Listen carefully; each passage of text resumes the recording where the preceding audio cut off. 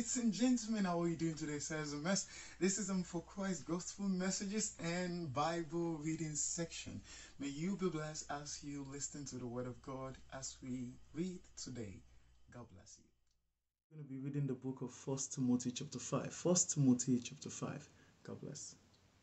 Do not rebuke an older man, but exalt him as a father, younger men as brothers, older women as mothers, younger as sisters, with all purity.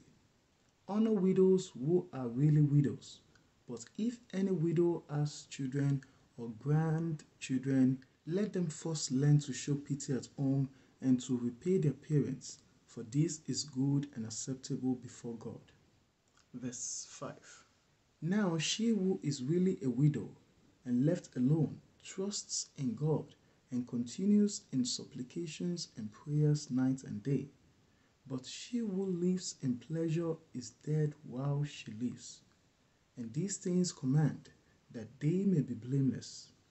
But if anyone does not provide for his own, and especially for those of his household, he has denied the faith and is worse than an unbeliever. Do not let a widow under 60 years old be taken into the number, and not unless she has been the wife of one man, well reported of good works.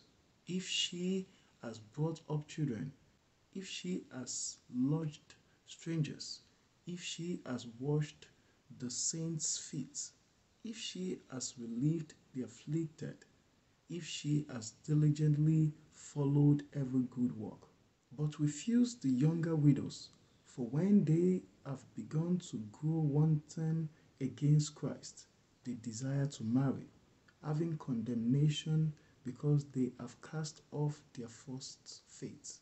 And besides, they learn to be idle, wandering about from house to house, and not only idle, but also gossips and busybodies, saying things which they ought not.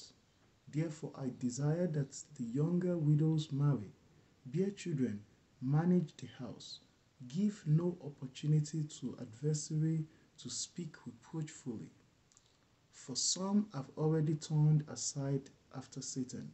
If any believing man or woman has widows, let them relieve them, and do not let the church be burdened, that it may relieve those who are really widows. Let the elders who rule well be counted worthy of double honor, especially those who labor in the word and doctrine.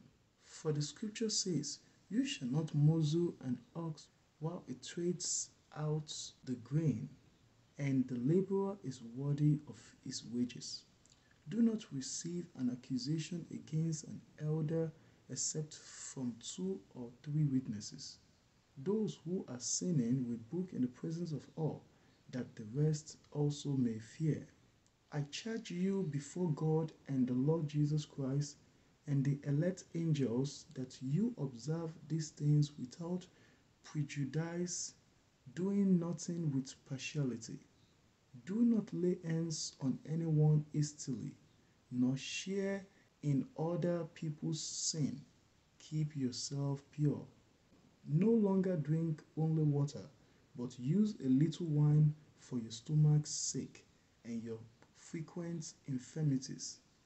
Some men's sin are clearly evident, preceding them to judgment, but those of some men follow later.